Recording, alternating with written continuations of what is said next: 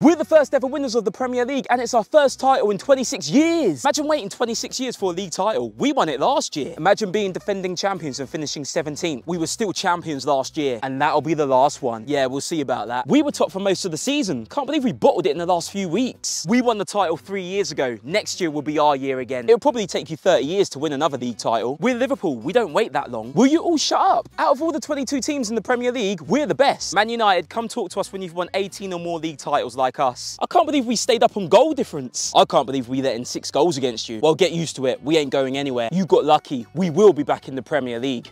Yeah, so will we. In a bit, boys. See you again soon, Premier League.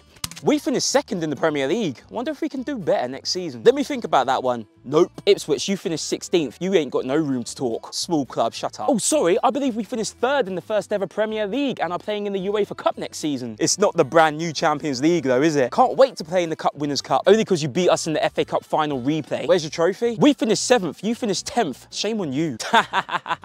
Chelsea, why are you laughing? You finished below us. Hi guys, just dropping in from 2023. Spoiler alert, Chelsea, you might see this sort of position again one day. Bye. Oh, bloody hell. Hello, lads. We are Premier League. Bloody hell, we're in the Premier League. Luton Town, what are you doing here? We might have got relegated last season from the first division, but just letting you all know, we will be Premier League one day.